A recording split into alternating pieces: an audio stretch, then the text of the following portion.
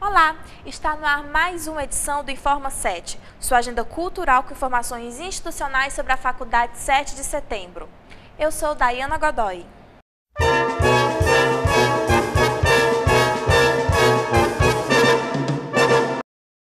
Para comemorar o Ano Internacional da Astronomia, o 7 de setembro realizou uma exposição no Shopping Guatemi.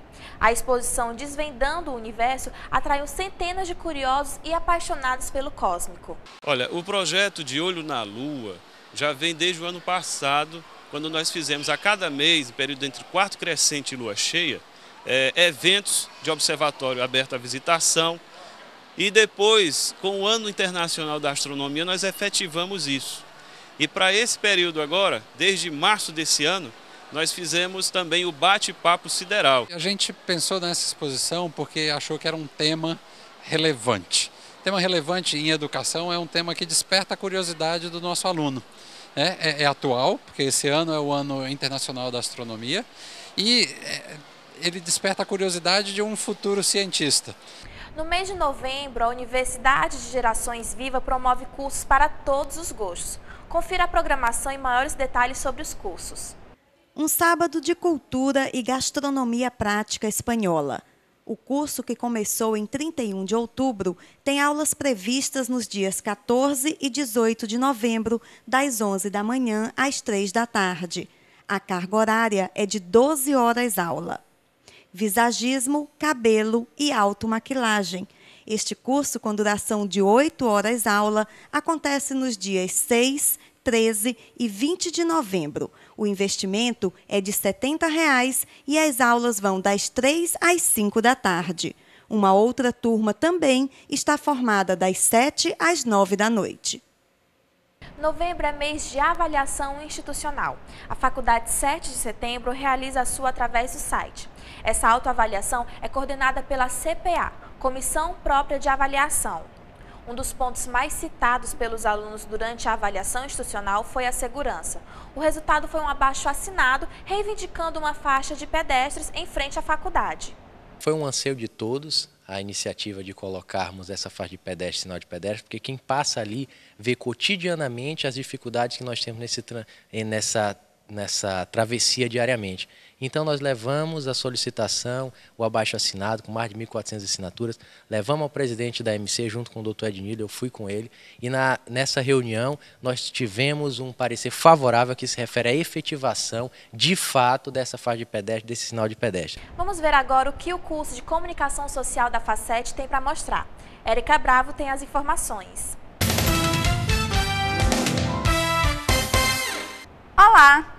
A gente começa essa quinzena falando da Agência Aberta.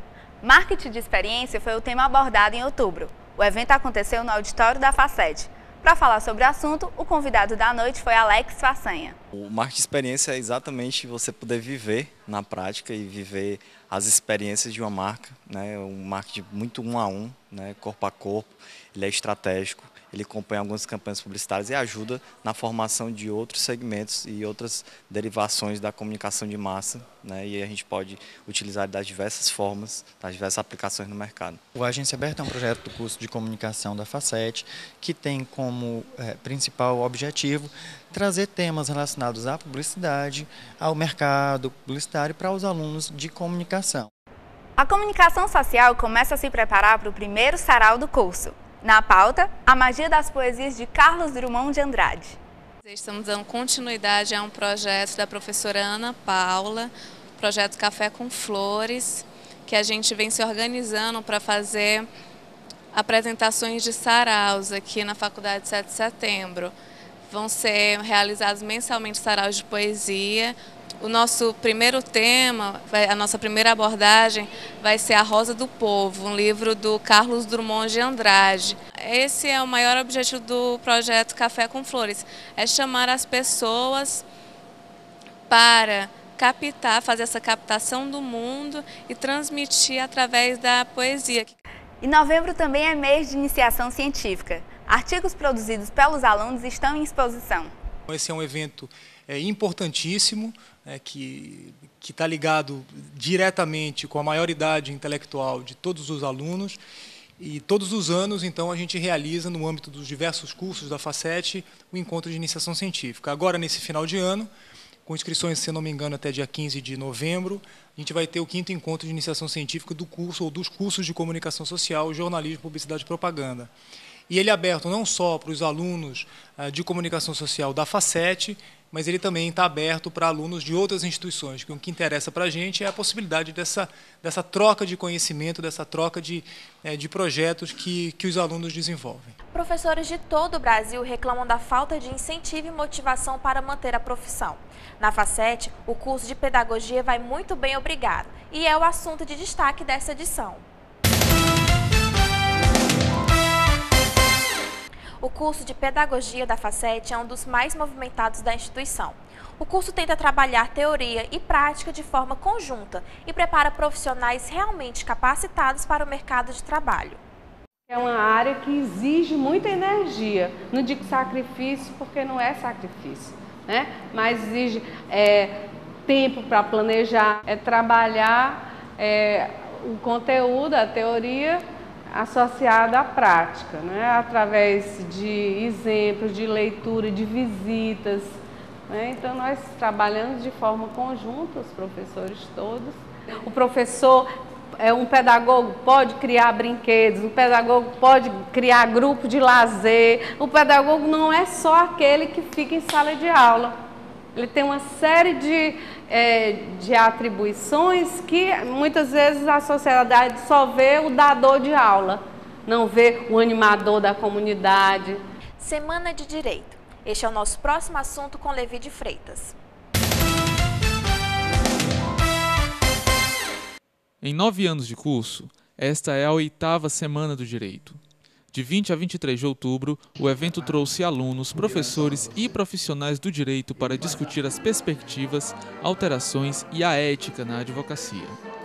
Destaque para a presença do desembargador Hernani Barreira Porto, presidente do Tribunal de Justiça do Estado do Ceará, durante o lançamento da obra Suspensão de Tutelas Jurisdicionais contra o Poder Público, de autoria da professora Isabel Cecília de Oliveira. Eu venho aqui, é, principalmente, para, para o momento de evocação positiva. Eu venho é, no propósito de é, me reencontrar com um dos maiores talentos jovens do Ceará, que é a doutora Isabel Cecília, é, que foi, para minha honra, minha assessora no Tribunal, no Tribunal de Justiça do Estado do Ceará. Aqui venho tentar mostrar a necessidade de redimensionamento do processo de atividade jurisdicional, da atividade de julgar. E o desejo que todos nós que fazemos a justiça, do varredor ao presidente do tribunal, temos é, é, no sentido de, de atender a grande expectativa social, a grande vontade social ao grande ao clamor social visando a, a, a quebra da morosidade judiciária. A coordenadora do curso de Direito da Facete, doutora Maria Vital, falou um pouco sobre a importância da semana. A Semana do Direito é um, um, evento de iniciativa da coordenação do curso de Direito desde o início da, desde o início da existência do curso.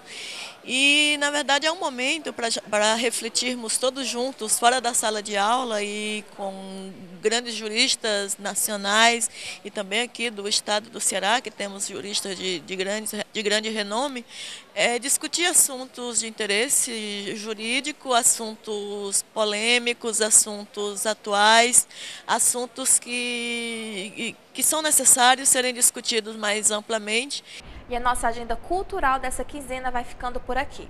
A gente volta a partir de 15 de novembro com outras informações sobre a Faculdade 7 de Setembro. Até lá!